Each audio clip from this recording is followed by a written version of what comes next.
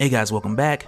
So now we're getting back into our talks on Venom within King in Black with Venom issue 34, which is appropriately titled Rise. And it's here that we sort off like the standoff within the God Hive just before the insane battle that's to come in King in Black issue 5. So let's get into it. But first, if you're new to the channel, be sure to subscribe to catch the spills every week. And don't forget to hit that bell up top so we can squat up in the comments for the first hour.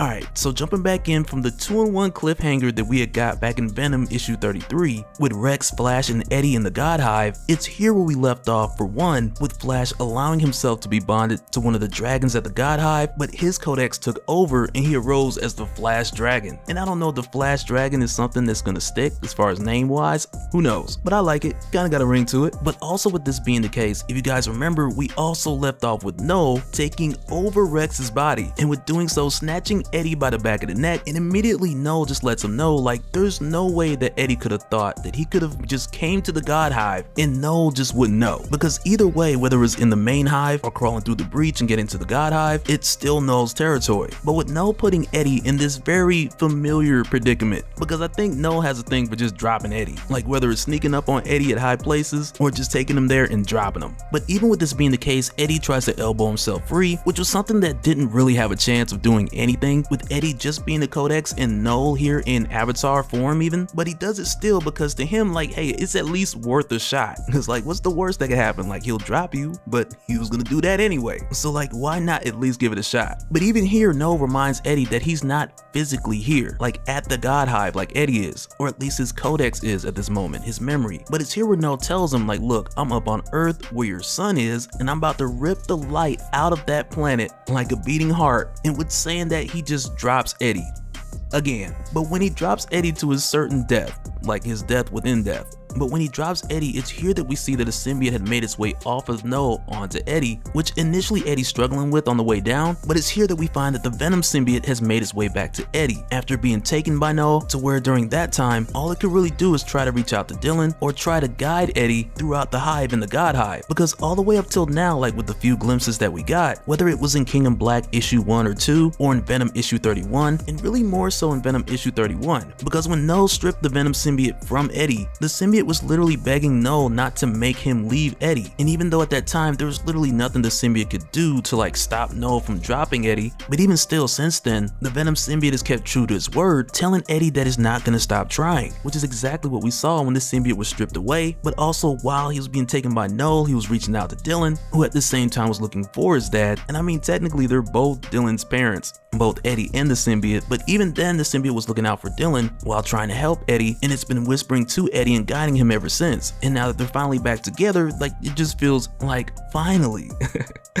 but man, we are just getting started. Because even at this point here, like keep in mind, we're still in the God Hive. So even at this point with the symbiote searching through Knull and finding Eddie here, like once they're together, they're definitely Venom because the two together, that's who they are. But even still with them being reunited and Eddie swooping around going for Knull, the symbiote then reminds him like this isn't the real fight. They still got to get back to Earth. Like they got to get back to the real world. Because if they fight Knull here, he's just an avatar. It won't matter. Like he could just jump somewhere else. But then it's here where the symbiote tells Eddie like we got to go to the real world. And it lets him know like it can take Eddie with him. But with doing so, all Eddie has to do is choose a form. And when he does, man does he. Because when they rise up in the real world, it's here where they essentially have just symbiotes everywhere. So it's like now with them needing a form, like there's plenty of symbiote mass to build from. And when the two of them come through, like Eddie and the symbiote, they just go straight Godzilla. Like King Kong versus Godzilla size. And I'm telling you like, man, I would love to see this. Like a 350 foot tall, like Venom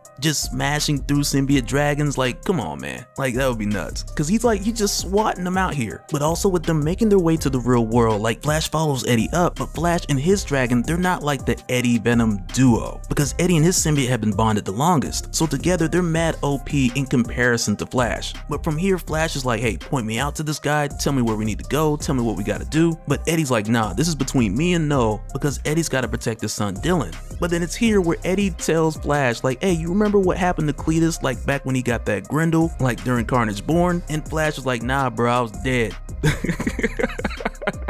But it's here where Flash tells Eddie like his physical form is still in the grave, so there's only so much he can do. But with Eddie telling Flash the whole Carnage Grendel hint more or less, because in this moment like really Eddie doesn't have the time to spell it all out. But with him at least telling Flash that much, he tells him to go and figure out the rest while Eddie goes on to take care of Knull. And by the way, I got a link below if you need to check out my video on Carnage Born in case you missed it or you need to refresh your memory, so at least that way you'll have a better idea of what Eddie was talking about. And come to think of it like that was a while back, man. That was like two years ago. Or at least I'm pretty sure it was two years because I remember when that video went live, I was in Jamaica.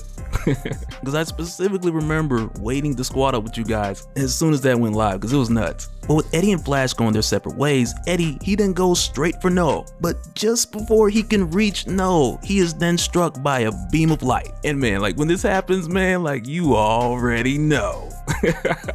it's about to go down. But that's in King in Black, we're not there yet. And I mean as far as like the main issues versus the narrative here in Venom issue 34. But even though on the ground like all the other heroes that have been freed at this point, they're all just kind of looking up like what's going on. And really at this point, I just think the Silver Surfer, Jean, and Reed are the only ones who really know what's going on.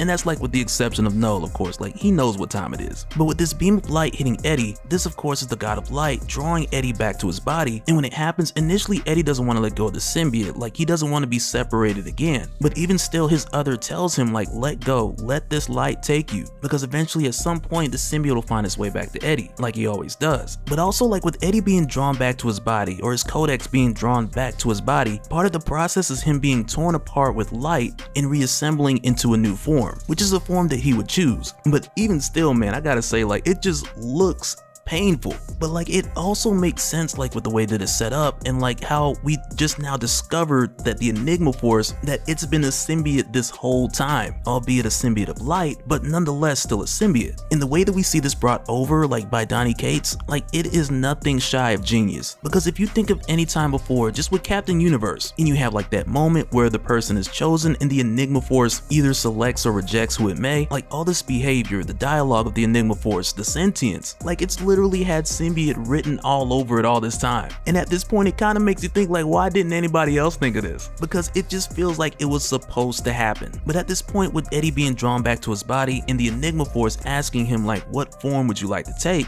But at this point, Eddie, he just can't help but laugh because really there's only one answer that Eddie's ever had to that question. And that's an answer that he doesn't plan on changing anytime soon. But we'll talk more about that once we get into King in Black issue 5, which is just nuts. But even still, we had to talk about Venom issue 34 first, because for one, we were kind of combining the conversations of the two, but when the story of Dylan and Eddie split up, then I was like, hey, okay, we gotta split the playlist back up, which now even makes more sense when we include everything that's going on with Flash, to whom at this point, like Flash, he's pretty much figured it out, because before when Eddie told him like, hey, what Cletus did, you need to do, and if you don't know what he did, you need to go figure it out, you need to do it. And it's at this point where we see the Flash Dragon fly over to Arlington National Cemetery and when he does, he finds his grave and he crashes his Grendel or dragon on top of his grave, seeping into the dirt and down to his body, which essentially was the same process that we had seen with Cletus Kasady from Carnage Born when the cult of Carnage took the corpse of Carnage and bonded it with Knull's Grendel. But with Flash doing this successfully, it now means that Flash is back. And I feel like there's a pun there somewhere, but I'm gonna let you guys take care of that in the comments. But I will say, like on top of this, with Flash returning, things are not gonna be the same because much like Carnage was different different when he got that Grendel, now Flash is different, and I am here for it. And I don't even know what the toys look like yet, but man, pre-order, pre-order. like, I need all of it, because you just know it's gonna be sick. And so now real quick, I wanna give a special shout out to all the patrons. Thank you guys for all your support. And for anyone who's new here, who wants more information on how to support the channel, I got a link below, so you can go to patreon.com slash dopespill.